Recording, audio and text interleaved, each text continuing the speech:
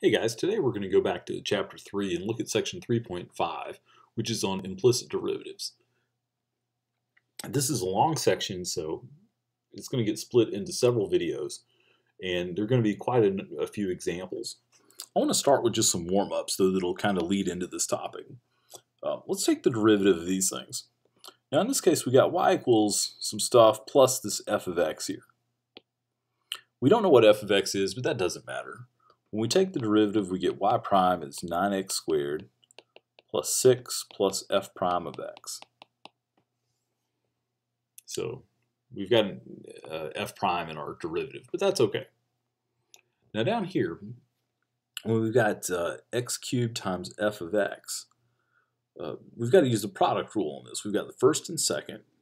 So y prime is going to be first times derivative of the second plus the second times derivative of the first. And on this one, f of x is showing up as an inside function in a couple of places. So we've got to use the chain rule. You get 3x squared plus derivative of sine is cosine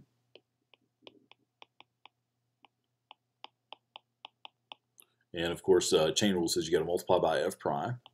And same thing over here, you get 5 times this to the fourth times the derivative of the inside function, so you get times f prime of x. Now, what does this have to do with implicit derivatives? Well, implicit derivatives, you use those in this sort of situation. If you have an equation that relates x and y but it's difficult to solve for y, you can treat y as an unknown function of x. So just for fun, let's go back up here and look at this one. Let's say that this f of x here, let's say that y was actually equal to f of x. Um, instead of having um, a y, instead of having f of x there, this would be y and this would be y prime. And what we would get out of this would be an equation we could solve for y prime. So um, here's here's sort of the general set of steps here, or, not steps, but just uh, information about it. If we have an equation that relates x and y, but it's difficult to solve for y, we can treat y as an unknown function of x. Uh, the derivative of y is y prime, or you can use dy dx if you want to. Um, don't forget the chain rule. And usually you have to solve for y prime at the end. And what's usually going to happen here is your expression for y prime will have an x and a y in it. So I want to do some examples of this. And I think, I think we'll go ahead and do the first example here in this video.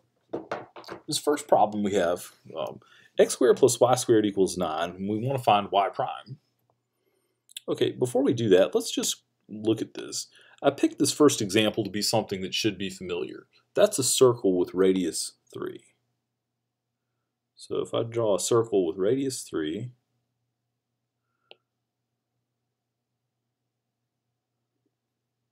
let's see, there we go. And we want to find the derivative, uh, y prime. So let's just, um, well, let's find it and then we'll look at it on the picture. All right, so what I would do here is I would say the derivative of x is 2x. The derivative of y squared is 2y, y prime, and the derivative of 9 is 0. So we've got the chain rule happening there to give us that y prime. Now I can solve this out for y prime by moving the 2x over. So I get 2y y prime equals negative 2x.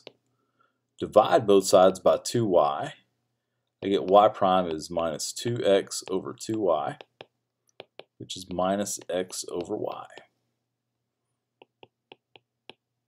And that's the derivative.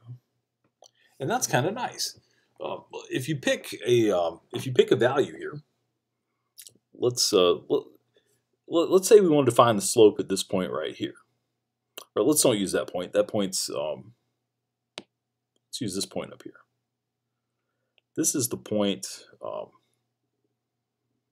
let's see, x is 0 and y is 3. So the slope here is minus x over y, which in this case is minus x is 0, y is 3.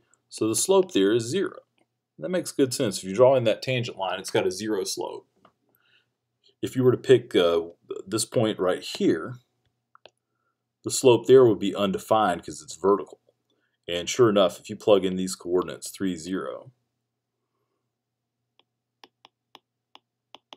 slope is going to be minus, let's see, x on top. So this is undefined. Now, if you want to find the slope at some other point, um, let's uh, well, let's go with this point right here. This point is um, the green point, assuming it's at a 45 degree angle, the coordinates of that green point are going to be 3 over root 2, 3 over root 2. And so the um, slope at that point is minus x over y. And since they have the same uh, coordinates there, the slope's just going to wind up being negative 1. That makes good sense. If you draw this line in, it's got a slope of negative 1 there. So this works.